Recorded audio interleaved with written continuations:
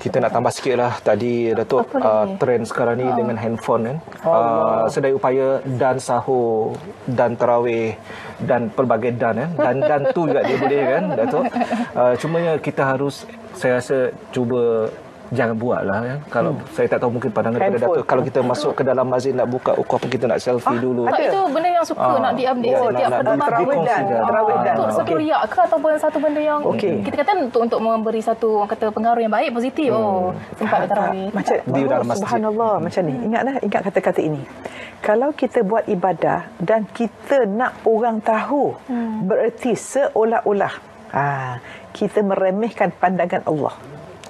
Kalau kita nak manusia lihat, maknanya manusia lebih penting daripada Allah Subhanahu Wa Taala. Sedangkan kita nak banyakkan amalan rahsia.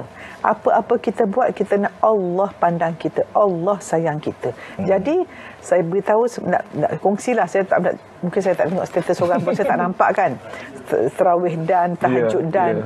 ini mungkin orang masih uh, sangka baik mereka Ya, berilmu betul. sesiapa dengar ni lepas ni tak buat lagi insyaallah Ya betul betul.